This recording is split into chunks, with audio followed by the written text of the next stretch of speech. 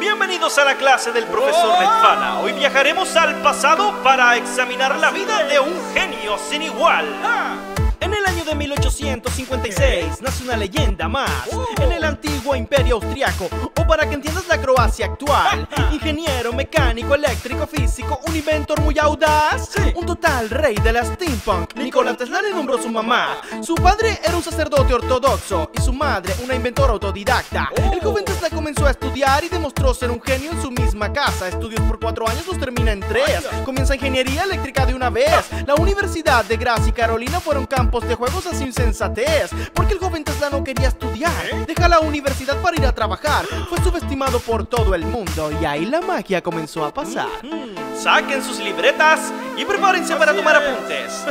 La historia de Nikola Tesla continúa. Ja, Memorizaba libros con gran precisión, generaba inventos con su imaginación. Antes de iniciar una construcción en su mente esquematizaba la invención. Sufrió de alucinaciones severas, ataques nerviosos y también ceguera. Pero nada de esto fue impedimento para que su ingenio marcara una era. Fue estafado por Alba Edison, fue despedido de su propia empresa. Trabajó de obrero durante un tiempo y nada de eso frenó su destreza. Y ahora prepárense a notar los mayores inventos de Nikola Tesla. Y ahí va. Control remoto, lámpara de neón, válvula de Tesla y corriente alterna, telégrafo sin cables, motor asíncrono, sistema trifásico y luz ultravioleta. Descubrió la radio, teoría del radar, el teleautómata hizo presentar, descubrió la terapia mecánica, trabajó duro y sin parar. Pero el mayor invento de Tesla era un arma sin igual, rayo de la muerte que te podía pulverizar. La leyenda cuenta que al ver su enorme capacidad, Tesla destruyó el invento y pasó de él sin más.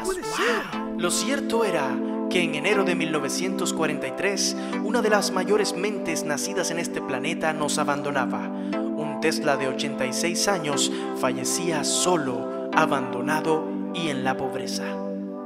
No podemos dudar que su galardón, que su ingenio marcaron nuestra época actual. Así que cada vez que enciendas la luz, cada vez que conectes tu PlayStation 4 para jugar, dale gracias al maestro Nikola Tesla.